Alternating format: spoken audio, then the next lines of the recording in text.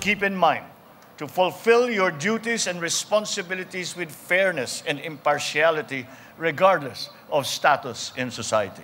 Together, let us utilize our resources and synergize our efforts to create a more secure, a more peaceful, a more harmonious society that allows every Filipino to realize their goals and to reach their utmost potential. ay 7 years old lang nung namatay po ang aking tatay at syempre po ang aking nanay na po ang nagbuhay sa amin. Mula po noon, nakita ko po ang realidad ng buhay, yung ating pong pagiging maturity, nandun na po.